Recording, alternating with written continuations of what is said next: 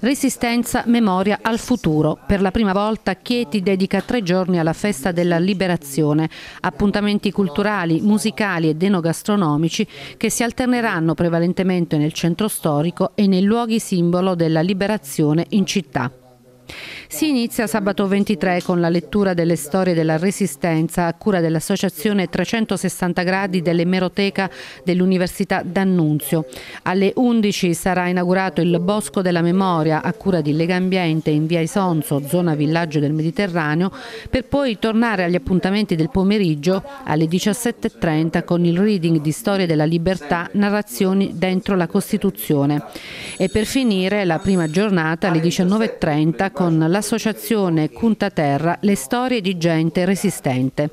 È una data ovviamente importantissima per il nostro paese e per quello che sta accadendo nel mondo penso sia eh, importante per tutti i popoli che si sentono oppressi e che vogliono non solo riacquistare la libertà ma anche eh, la possibilità di vivere in pace eh, sul proprio territorio. Questa data è eh, importantissima per eh, tutta la nostra comunità eh, nazionale e eh, noi a Chieti vogliamo ovviamente ricordarla con particolare attenzione.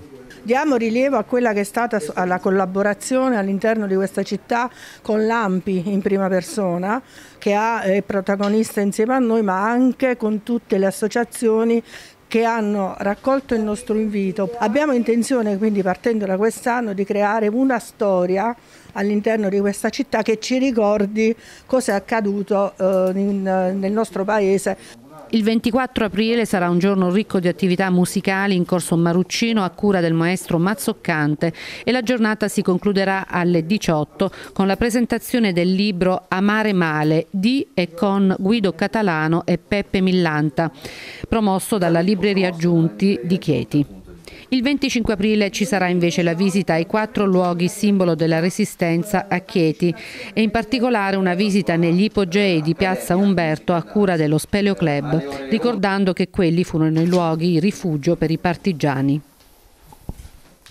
Sono tantissime realtà che sono intervenute, Amnesty e Mediterranea eh, creeranno una mostra fotografica con dei prigionieri di coscienza, quindi saranno tre giorni di divertimento, ma soprattutto di memoria, di ragionamento su quella che è la resistenza 70 anni fa e quello che è la resistenza oggi.